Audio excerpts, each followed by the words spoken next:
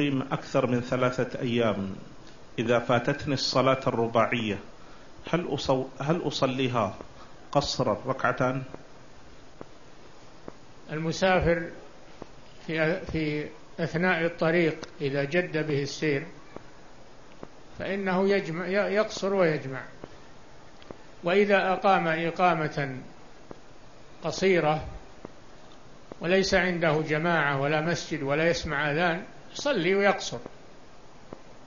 ويصلي كل صلاة في وقتها قصرا بلا جمع.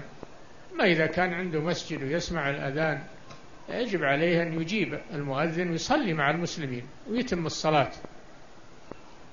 يتم الصلاة. ويجيب الأذان ويصلي مع الجماعة. ولا يقول أنا مسافر ويصلي وحده. أو يصلي ناس بجنب المسجد ويقصرون ويتركون إجابة الداعي وحضور الجماعة هذا شيء يجهله بعض الناس أو كثير من الناس. نعم.